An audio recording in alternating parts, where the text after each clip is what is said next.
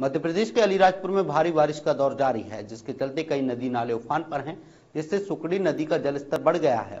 और उसमें आदमी फंस गया। आदमी बहते हुए एक पुलिया के पास सहारा लेकर बचने की कोशिश करता रहा, जिसके बाद सूचना मिलते ही एसडीआरएफ की टीम मौके पर पहुँची, जिसे कड़ी मेहनत के बाद आदमी को रस्सी से बांधकर बचाया गया है।